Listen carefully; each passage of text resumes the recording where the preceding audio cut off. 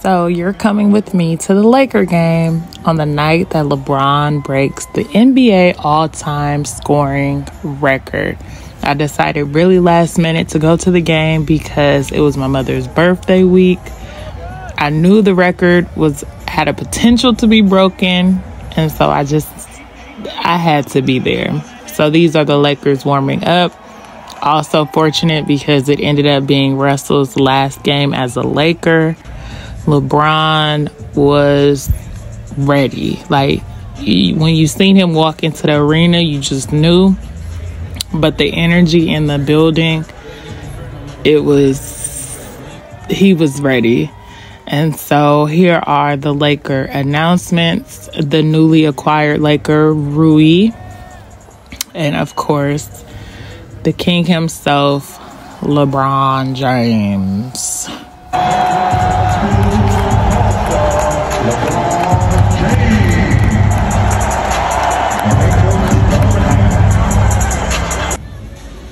The last time I went to a Laker game, I didn't record him doing his infamous powder routine, but I was able to get it this time. We were so close to the court. Um, and my mom not paying attention. Jay Z was at the game. Shannon was at the game. So many celebrities were at this game because they just knew.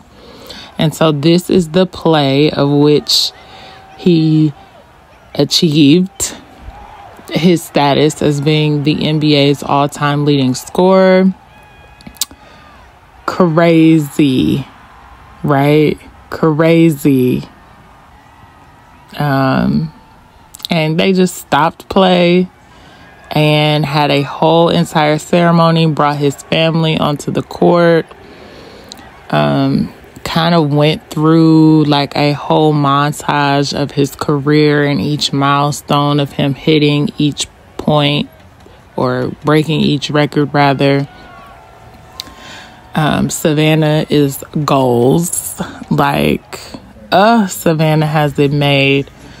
Um, but it was really nice the package that they put together to support and celebrate LeBron and everything that he's done in the NBA, which was pretty cool.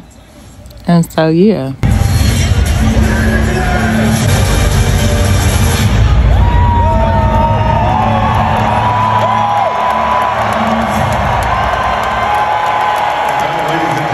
What was really nice is that Kareem was able to see it, who was the previous all time record leader, and was kind of able to pass that torch over to LeBron. LeBron was withholding all of his emotions, but he couldn't hold it for too long. I think the um, feelings, he kind of got overwhelmed because that's a big feat. You are the all time leading scorer of the NBA. Like, that is crazy. Um, but that was really cool to witness. To the Laker faithful. Um, guys, to be able to be in the presence of such a legend and great as Kareem, it, it means so much to me. It's very humbling. Um, please give a standing ovation to the, to Captain Breeze.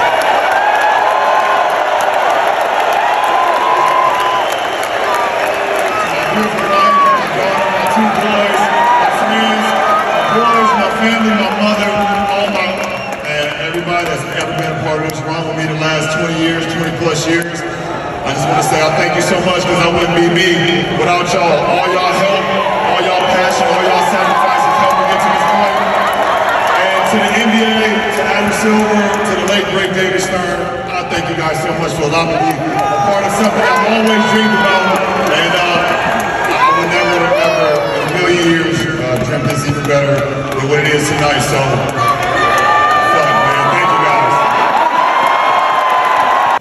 And here's just two goats hugging it out. Of course, Jay and King James.